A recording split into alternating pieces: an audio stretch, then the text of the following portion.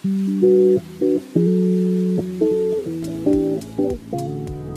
madalas tinatanong, uh, helpful nga ba ang uh, probiotics para sa gut ng ating mga alaga? Sa market, meron ng mga formulated uh, different probiotics for dogs and for cats. Maraming uh, commercially available. Merong in powder form or in liquid form. Each probiotic ay merong iba't ibang content. Depende sa company na nag-formulate. Meron yung iisa lang ang strain ng microorganism na nandun. Meron din naman yung dalawa, tatlo, or more. So, kagaya ni Yakult, meron lang siyang isang uh, strain ng bacteria. At yun yung lactobacillus. Pero meron siyang 8 millions na live lactobacillus each one bottle. As compared sa ibang probiotics kagaya nito. Si Pet Defense. Si Pet Defense ay in powder form siya.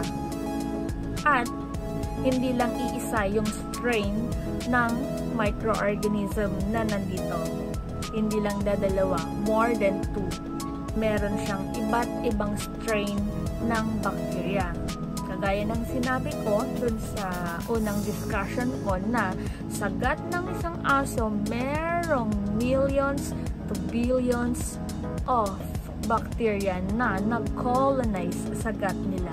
But it's true, yes, beneficial ang pagbigay ng uh, probiotics sa ating mga alaga. Meron akong nabasa na post sa Facebook claiming na si Yakult ay isang uh, dewormer. No, it's wrong. Si Yakult ay never na naging at never na maging dewormer. Okay? When we say dewormer, nakakatanggal siya ng bulate. Kasi unang-una, ang laman ni Yakult ay bacteria. Good bacteria. Beneficial bacteria. Ang mga normal na nakatira sa gut ng isang dog ay mga bacteria, hindi worms. Ang worms ay hindi siya bacteria. Isa siyang parasite. Which is hindi normal sa gut ng isang dog or isang cat. Si Yakult, ang content niya ay maliban sa mga good bacteria, meron siyang calories, proteins, uh, carbohydrates, at uh, fats. Wala siyang content na dewormer or anything na may property na pwedeng pumatay ng uh, worms, intestinal worms. Wala po. So, that's wrong. Hindi mapapatay ng Yakult ang kahit anong klaseng uh, bulate. Okay? Ang tanging function ni Yakult ay probiotics. Ibig sabihin, beneficial bacteria na pwedeng mag-boost ng immunity, pwedeng makatulong sa digestion at sa iba pang health and immunity sa ating mga alaga. Kung tatanungin niyo ako kung kailangan nga bang regularly na bigyan ng probiotics ang ating mga dogs, not necessarily. Hindi kailangan na magbigay ka ng probiotics araw-araw. Not all dogs ay kailangan bigyan ng uh, probiotics. Uh, as long as maganda yung condition ng alaga mo, healthy siya, okay ang kain niya, ayos ang pagdumi niya. Hindi nagkakaroon ng intermittent na pagsuka, pagdiarrhea, or paglambot sa dumi, or hindi nagkakaroon ng any digestive uh, tract problem, well, hindi mo kailangan magbigay ng probiotics. Kasi nga, normally, merong mga nakatirang normal bacteria dyan sa gut niya na nagme-maintain para hindi siya magkaroon ng kahit anong uh, digestive related na sakit. Bakit kailangan mong mag-add ng probiotics kung okay naman or well-balanced naman yung production ng mga bacteria sa kanyang gut?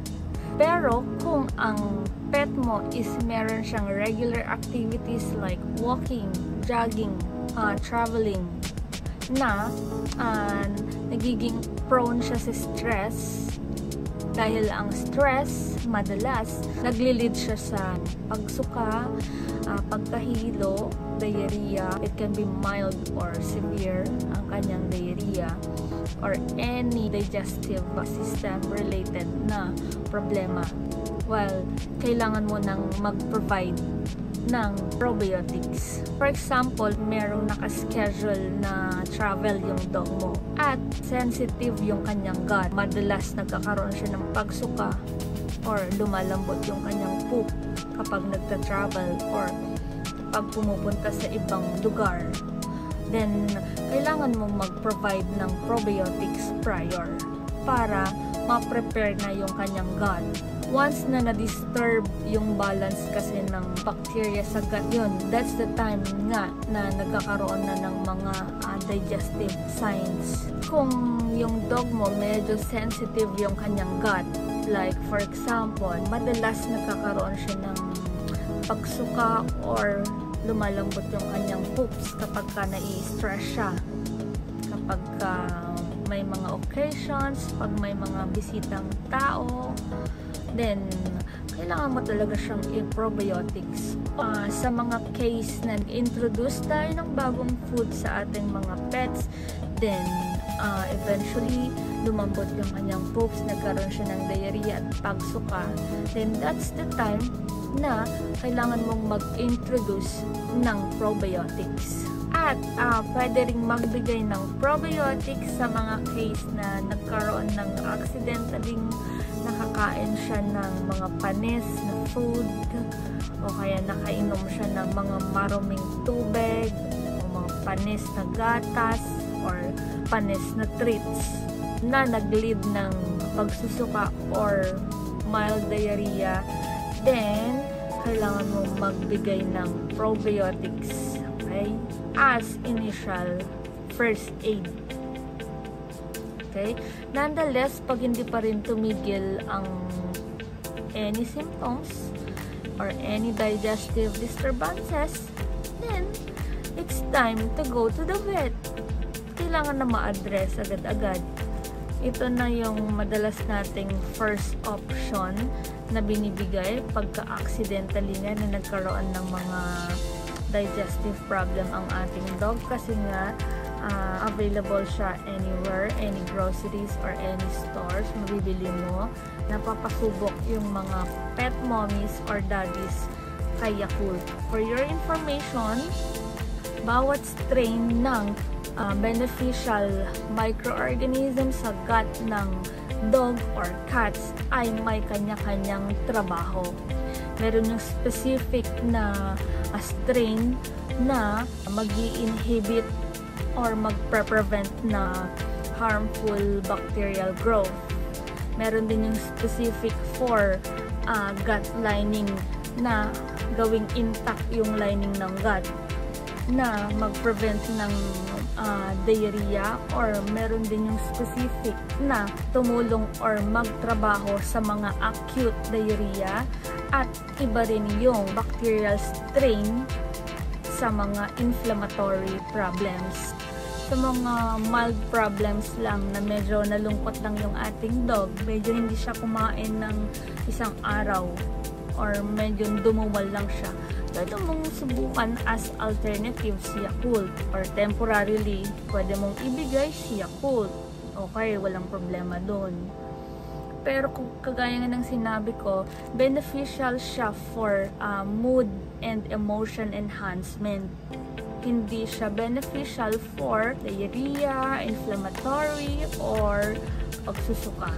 As a veterinarian, ang well-recommended na gagamitin mong probiotics ay yung mga formulated mismo for uh, dogs.